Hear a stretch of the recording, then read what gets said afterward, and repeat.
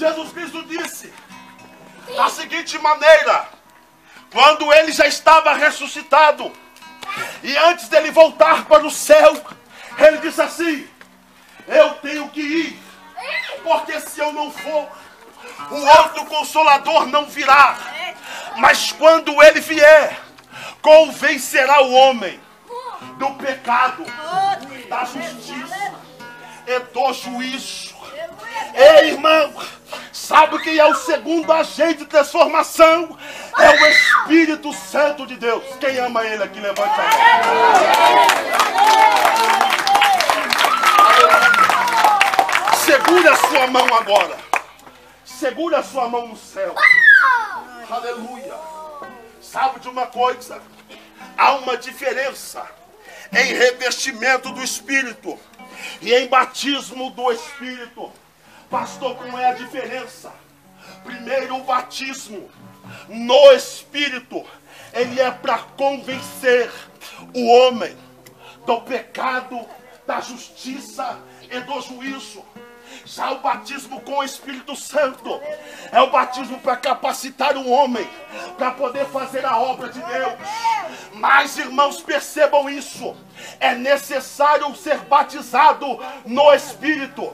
Pastor, como eu sei que eu sou batizado no Espírito? A partir do momento que esta revolução acontece dentro de você, quando você já não aprova mais o pecado quando você já não aprova mais as obras infrutíferas da treva. Quando você já não tem mais prazer em pecar. Quando você não fica alegre quando peca. Quando você não fica satisfeito ao pecar. Mas quando você, quando peca, você chora. Você se derrama. Você se arrepende. Isto é o batismo no Espírito. Esse batismo no Espírito é o agente que te convence. O pecado não tem mais domínio sobre a tua vida. Você não é mais instrumento do pecado, mas você agora é instrumento de Deus. Você agora, o seu corpo não é para prostituição, mas o teu corpo é para a glória de Deus. Fica com as mãos levantadas. Fique com as mãos levantadas. Só você que quer o batismo no Espírito. Oh glória! Oh glória! Oh glória! Oh glória! Oh glória! Oh glória! Está acontecendo uma revolução aqui. A palavra já está fazendo a revolução. O Espírito já está trabalhando. Ele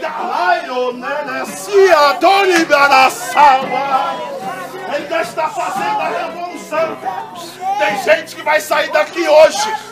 Vai cancelar umas pessoas do WhatsApp. Vai arrancar umas pessoas do WhatsApp. Vai! Está acontecendo. Está acontecendo. Está acontecendo. O batismo no Espírito. No Espírito. Fecha os olhos e começa a pedir a Deus. Deus, eu preciso desse batismo no Espírito. Ele é o agente de mudança. Ele é o agente de transformação. Começa a orar, começa a orar. Começa a orar. Vai orando. Vai orando. Vai orando. Não para de orar. Não para de orar. Não para de orar. Já está fazendo aqui algumas pessoas sentir vergonha do que estava fazendo. Algumas pessoas aqui já estão tendo vergonha das coisas que estão assistindo na internet. Algumas pessoas já estão tendo vergonha das coisas que estão acontecendo. Sites pornográficos. A vergonha está entrando no seu coração. Ai, anai, o céu e terra. Deus já está trabalhando. Deus já está trabalhando.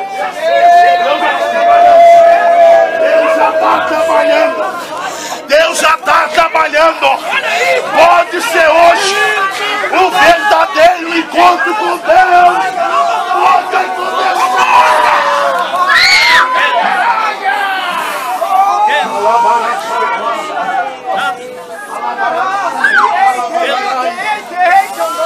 Deus, desce temor. no coração desse povo. Desce temor no coração desse povo.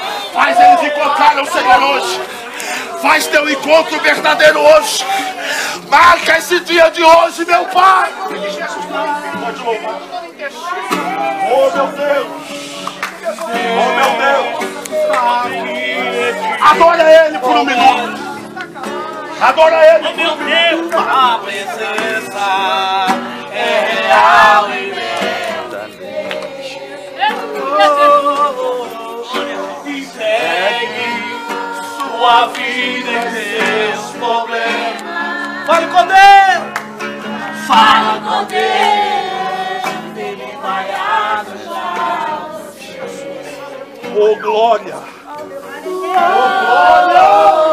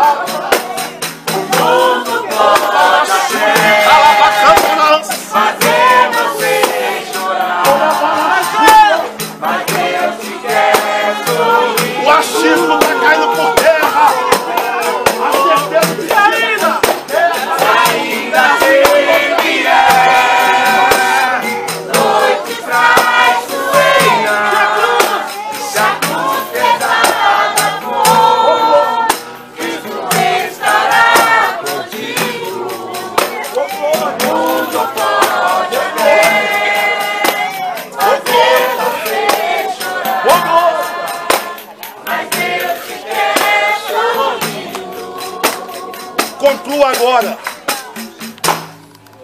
Perceba que o verdadeiro encontro com Deus ele interrompe destinos para começar a história.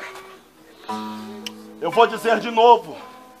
Perceba que o verdadeiro encontro com Deus ele interrompe destinos para poder começar a história. Aquele homem estava saindo com um decreto para matar os cristãos. Depois do encontro com Deus, Deus interrompeu aquela história. E quando Deus interrompeu aquela história começou a escrever uma nova, você percebe que esse homem, que tinha o nome de Saulo,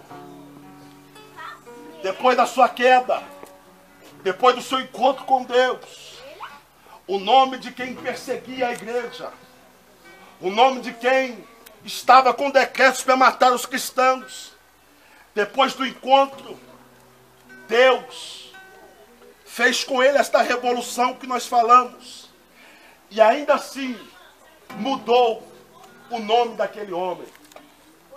Deus agora, o nome dele não seria o perseguidor, não seria aquele que queria matar os cristãos, mas de perseguidor ele passou a ser pregador.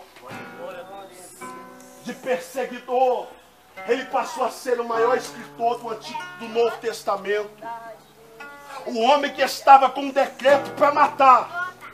Depois do encontro com Deus, Deus mudou até o nome dele. Teu nome não é perseguidor mais. Teu nome agora é Paulo. De brinde você vai ser um apóstolo para os gentios. Meu Deus. Tu vai ser a porta para levar a mensagem. Eu estou abrindo um leque através da sua vida. A mensagem vai se espalhar. Porque Deus começou a escrever uma história depois do encontro com Deus. Toda pessoa que tem um encontro verdadeiro com Deus, Deus interrompe o destino e escreve uma nova história. Quando Deus encontra com alguém e alguém encontra com ele, se era bandido, não é mais bandido. A partir do encontro com Deus, é servo, é servo do Altíssimo. Quando Deus interrompe destino para escrever história, Ele muda o nome. Se a pessoa tinha um nome afamado no bairro, Deus agora transforma. Esse nome não cabe mais a ela. A partir de hoje é serva do Deus Altíssimo. A partir desse encontro com Deus, Deus muda até o nome da pessoa para poder começar uma nova. Eu tenho 15 anos que eu tive um encontro com Deus. 15 anos já se passaram. O meu destino estava sendo contado. Será um dos piores traficantes do bairro Boa Vista. Esse estava sendo contada a minha história. Assim estava sendo contada a minha história há 15 anos atrás. Já se envolvendo com o crime. Dou graças a Deus que não tirei a vida de ninguém. Já fomos até a porta de alguém para executá-lo. E eu sempre hoje me recordo isso com gratidão. Pois eu olhei para cima e havia uma faixa. E nesta faixa estava escrito assim: dentro da casa do homem, aqui reúne uma célula. E eu olhei aquilo, não conhecia Jesus, e aquilo mexeu comigo. Saiu uma senhora de dentro da casa, e essa senhora parecia um anjo. Ela olhou para mim e disse: Meu filho, como eu posso te ajudar? E eu disse: Fulano de Tal está aí? Ela disse: Não, meu filho. Mas ela falou com o coração de quem amava, quem tinha amor. E eu disse: Tudo bem. Não precisa, não, minha senhora. Nós estamos indo embora. E a minha história estava sendo contada desta maneira. Já estava na minha casa, tendo quase um arsenal de armas guardado. Já estava na minha casa, todo um decreto sendo escrito, sem a minha mãe saber, porque naquela época nós escondíamos, não queria aparecer. Mas, assim estava sendo contada a minha história. Mas quando foi um dia que eu encontrei com um homem de Deus, e esse homem de Deus começou a pregar a palavra para mim. Esse homem de Deus, eu fui morar do lado da casa de um pastor. Glória a Deus. Quando eu cheguei naquela casa, sem nada, com uma mudancinha pequena, o pastor disse: era Deus interrompendo o meu destino para começar uma história. O pastor disse assim: Rapaz, o que é que você tem aí? Eu tenho uma geladeira, tenho um fogão, tenho uma televisão, eu tenho tantas coisas. Você quer que eu te dou? Pastor, tudo bem. Mandou os meninos da igreja pegar tudo da casa dele, levar na minha casa. Você conheceu ele, o pastor Celso Silva. Levar na minha casa. E era Deus começando a interromper um destino para começar uma história. Amém. Quando eu saía da minha casa, parece que ele estava sempre na janela. Toda vez que eu saía, ele dizia assim: Tá indo para onde? Disse: Eu vou comprar pão, eu vou te levar lá. Oh. Aleluia. Entra no carro que eu vou te levar lá. Aonde eu ia? Eu ia visitar minha mãe. Era lá no Caixa d'Água, lá no Boa Vista. Quando eu ia visitar minha mãe lá perto do Carlos Carlos Góes, era muito longe. E ele falava assim: Tá indo para onde? Vou ver minha mãe, eu vou lá com você. Era Deus interrompendo para começar uma história. E ele sempre me chamando para poder ir para a igreja. Vai para a igreja, vamos comigo. E eu sempre fugindo, sempre fugindo, sempre fugindo.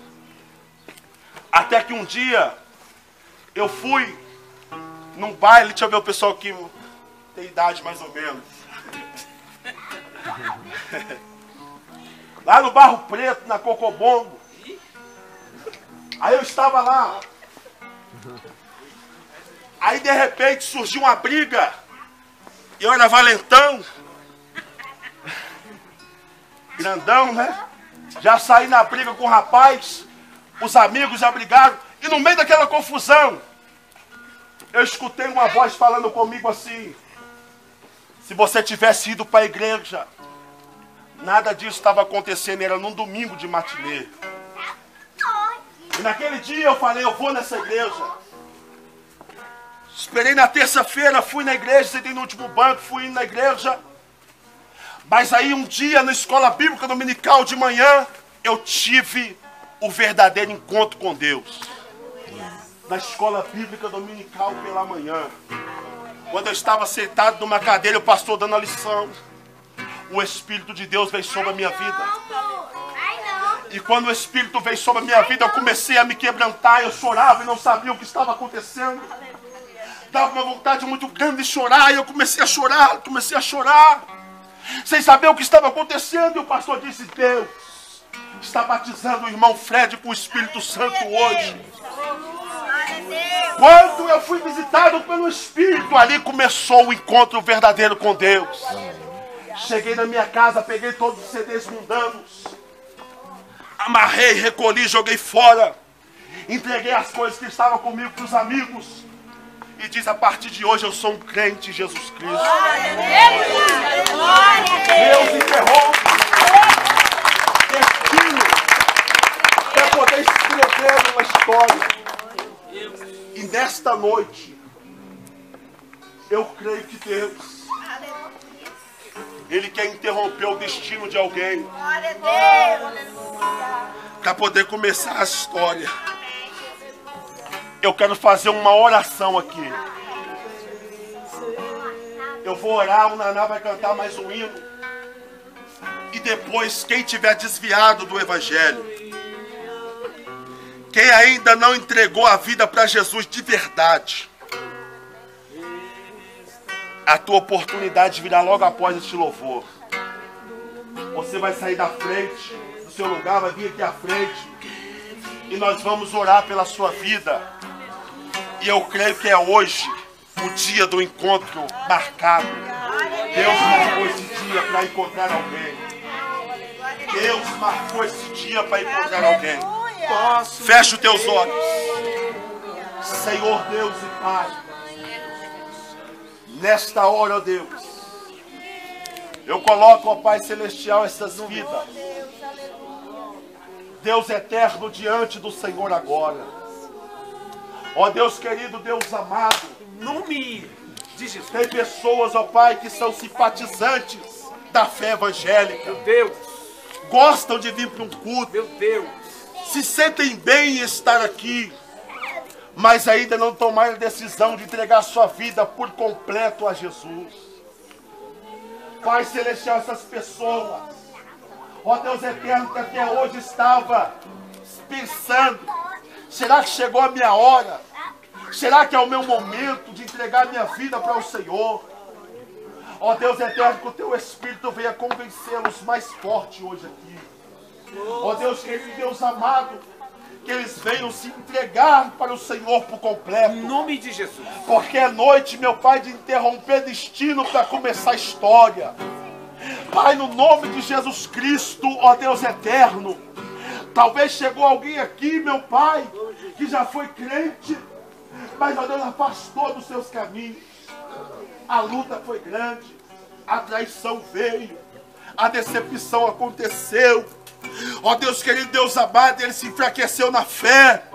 Ela se enfraqueceu na fé. Mas, ó Pai Celestial, ó Deus querido, Deus amado, é a noite, meu Deus eterno, que esse destino que estava sendo caçado por Satanás é caído por terra. E é a noite da história que o Senhor começou na vida desse homem e na vida dessa mulher voltar a ser escrita. Pai Celestial, nós vamos te adorar. Ó Deus eterno, teu Espírito vem agir no coração dessas pessoas.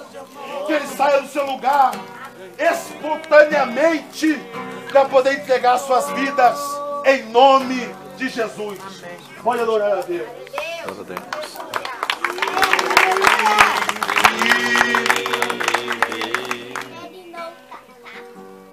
Posso crer no ar.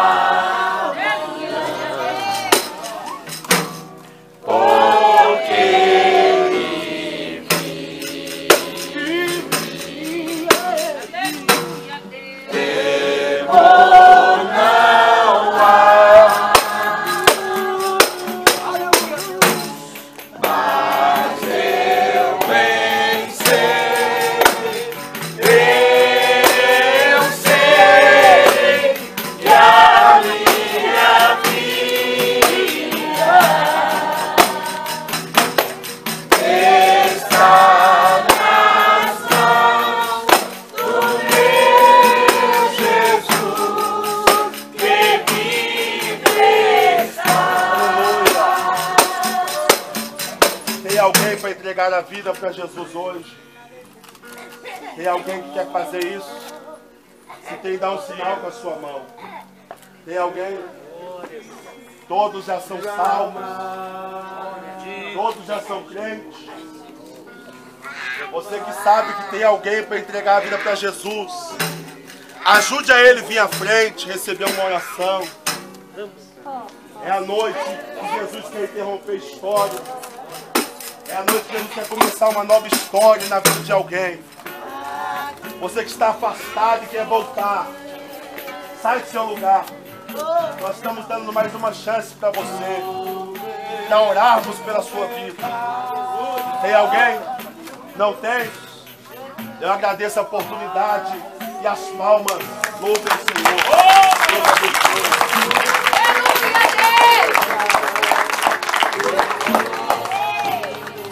Estenda as mãos na direção do obreiro aqui, por favor, igreja. Estenda as mãos. É, a gente tem aquele costume de dizer assim. Quem gostou da mensagem? Ainda que pessoas não gostaram, não tem jeito, já, já está encaixada a mensagem. E agora é hora de frutificar, porque se a terra ela é fértil, ela vai dar frutos a 100 a 60 mil. Pastor, você pode voltar a hora que você quiser. Não é desligar, não. Já está aberto. Se quiser ficar, não. Tem lugar pra ele aqui, Eu vou no Espírito Santo. Eu tenho as agendas lá. Se o senhor quiser passear, lá tem peixe, lá tem casa. Amém? Convida a sua esposa. Nós vamos levar uma comitiva daqui. Estamos fazendo uma excursão para a glória de Jesus. E aqui aquele senhor do seu amigo ali já. É, cabeludo ali. Amém? Você está convidado para ir conosco. Amém? Em nome de Jesus. Bate palma para Jesus.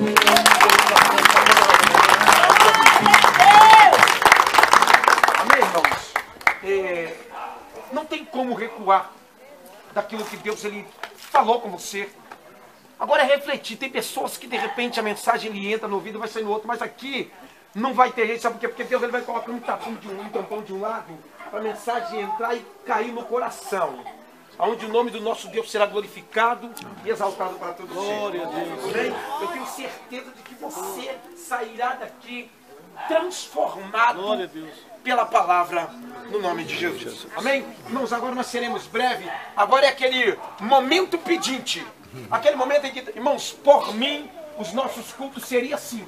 Mas a promessa de Deus é outra, totalmente diferente. Vem cá, irmã Valéria, irmã, rapidinho. Irmã Valéria, ela sentiu um desejo no coração e mandou, ela não pediu, né? ela mandou um serralheiro aqui, o serralheiro, ela deu uma olhada aqui e cobrou quanto, irmã Valéria, fazer isso aqui? É, é 6.500, né? 6.500 reais para colocar um telhado. Aí o nosso pastor Cleves, vem cá rapidinho. Fica aí, irmã Valéria. Pastor Cleves veio cá pregar uma mensagem e disse assim, pastor, eu não quero ir embora mais não, vou ficar aqui. E trouxe a esposa, trouxe as crianças, agora trouxe todo mundo da casa dele. Ainda trouxe aquele, ô irmãos, aquele cara lá, eu vou falar uma coisa pra vocês, eu conheço, ele já tem uns, sabe? Então, pastor, fica aqui, pastor pode ficar. Pastor Cléber, ele foi ali e fez um orçamento de material para esse piso, o piso grosso. Ficou em quanto, lembra do preço? 2.085, 83. 2.083 com 6.500. Você viu quanto nós vamos gastar aqui só para bater um piso grosso, fora aquele porque agora você não vai sentar mais assim, você vai sentar para lá, porque lá começa aquilo que o Senhor falou no início da história daqui. Então, eu estou, irmãos, esse é o momento em que é o momento de Neemias, é o momento em que eu saio com a carta e vou buscar recurso aonde tem. Esse recurso chama-se você. Eu conversando com Deus, eu entrei numa palestra com o senhor, falei, Deus, senta aqui para tomar um café comigo. Ele falou, café eu não vou tomar não, mas nós teremos uma conversa. E aí eu chamei Rodrigo, vem cá Rodrigo. Rodrigo criou uma ideia de fazermos esses bloquinhos.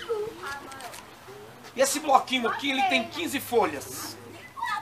E eu coloquei no meu coração de que cada um pudesse pegar um bloco desse, 20 pessoas, e tá cooperando por mês com 50 reais. Porque aí alguém vai emprestar um cartão no valor de 7 mil, de 9 mil. E aí nós vamos estar cobrindo todo mês esse cartão para o nome do Senhor ser glorificado. Irmãos, eu tenho certeza de que cada dia que você trouxer 50, nós estaremos orando para Deus te retribuir 100 vezes mais. Mas não venha pegar por causa dos 100, não. Porque se você vier por fidelidade, Deus ele vai fazer algo sobrenatural na sua vida. Alguém, há duas quinta-feira passada, pegou um envelope de uma oferta que vão trazer hoje, eu acredito, e Deus ele vai fazer algo diferente. Hoje nós começamos aqui, o João, levanta a mão, João, o Davi, Davi é um menino rebelde. Davi é o meu menino rebelde. Ah, eu falo mesmo, eu não tenho, eu tenho boca grande, eu cagueto mesmo. Eu falo para Deus, eu falei, Deus, olha, se o senhor não mudar a história do Davi, eu não sei o que, que eu vou fazer com ele, não. Aí Deus falou assim, calma, porque é no meu tempo e não no seu. Então aí Deus fala assim, só ora. Irmãos, quem quer me ajudar a orar pela vida do Davi aqui? Amém, Jesus. a Davi. Davi. Davi, ele chega aqui, ele não tem vergonha de louvar. Davi, ele não tem vergonha de se apresentar a Deus do jeito que ele é. Tem pessoas que são cristãos que têm vergonha de se apresentar ao Senhor. E Davi, ele não tem. Ainda que ele tenha os seus defeitos, como eu tenho os meus defeitos, e os meus defeitos só Deus conhece, mas ele chega aqui com cara e coragem. Tem pessoas que às vezes, pastor, tem muito tempo de evangelho, você dá oportunidade, a única coisa que ele sabe fazer é jogar para outra. O pastor já deve ter visto isso várias vezes. Os irmãos que estão aqui já viram isso. Em altar, pessoas que estão sobre a tribuna, não é isso, pastor? É verdade. Balança o dedo e joga a peteca para outro. Mas aqui, irmãos, aqui não tem rejeição, não, irmão. Aqui não tem garganta inflamada, aqui não tem gripe, é, Covid-19, Covid, não tem, não. Aqui tem que vir mesmo. Você tem que apresentar a Deus aqui o seu melhor. Então, irmãos, eu quero te convidar você a pegar um bloquinho desse e marcar uma data, pastor. Eu posso estar abençoando aí todo dia 5. E aí a irmã Deliane e a irmã Elane, vem cá as duas, rapidinho. Rapidinho. Elas estão aí mexendo até então na tesouraria e secretaria. E a irmã Milton não está vindo porque ela está um pouco bem avançada em idade. Nós trancamos a casa para ela não vir. Ela já está com uns 90 e alguma coisa, beirando quase. Então nós não deixamos ela vir até porque ela está bem cansada. Mas ela é regente do coral, desse coral que está ali, da irmã Marlene, da irmã. Vem cá, irmã Gisele. Até então eu peguei a irmã Gisele e coloquei ela como pertinho de mim aqui. A irmã Gisele é minha segunda, mas ela não tem tamanho não, mas a bichinha é violenta. Oh, glória, aleluia. Mas Gisele, ela não tem papa na língua. Ela é minha, até então ela é a segunda aqui, ela está regendo isso aqui, ela está cuidando disso aqui comigo. E eu falei com a irmã Gisele, irmã Gisele, eu- a senhora hoje é a segunda, amanhã será a primeira. Porque eu estou enquadrado em João 3,8. O vento sopra onde quer e eu vou no vento. E Deus ele me conduz para onde ele quiser. Só que eu estarei aqui, eu serei como Eliseu e Geazi. O meu coração vai estar aqui.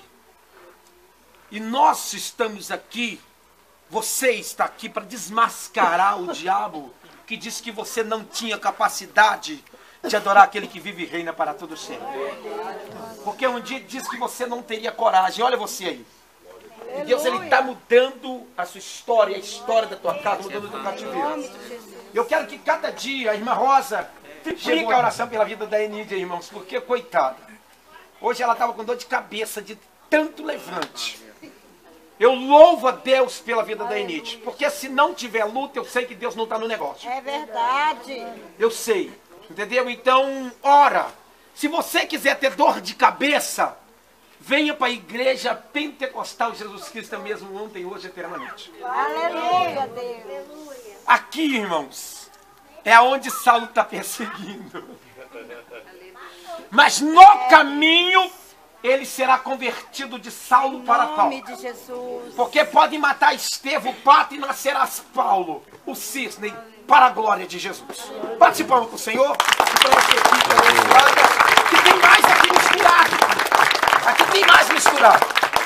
E você será descoberto para a glória de Jesus. O João é o homem que está andando comigo aí. João saiu aí de um mundo tenebroso também. Mas ele, aonde ele passa, ele fala desse evangelho. Aleluia. E assim, eu tenho às vezes ficado admirado com aquilo que Deus tem feito na vida do João.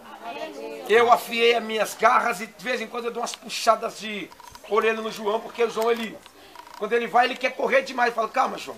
João é aquele mistério, pastor, de que sai, sai dois discípulos, né? Porque Jesus não está mais no sepulcro, e sai um discípulo na frente correndo, e João é aquele cara. E sai o outro atrás, João, né? Cansado. Mas quando João ele chega no local, ele para e só observa. João é dessa forma. Eu louvo a Deus pela vida do João, porque eu sei que a cada dia Deus irá mudar o cativeiro dele. O João, a Deliane, a Rosa, a Enid, o irmão Gera- Geraldo, que não está vindo, e o Davi, e. Não está se preparando para o batismo. Estão se preparando para ser batizados. Nós temos aqui seis e meia até sete e meia, nós te- temos, temos pré-batismo, e nas terças-feiras, né? Tá vendo aí? Ela é afiada. E nós fomos já olhar um, um local aí, já apresentamos para alguns irmãos e sairemos daqui com a comitiva. Vai ser um domingo diferente, um batismo diferente. Tem espaço, tá, irmãos? Tem lugar lá. Saia convicto de que Deus ele vai fazer algo diferente. Bate palma para minha equipe aí, você.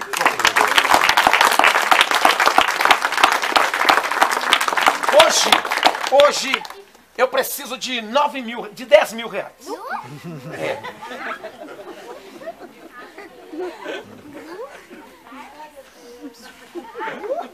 Dez mil.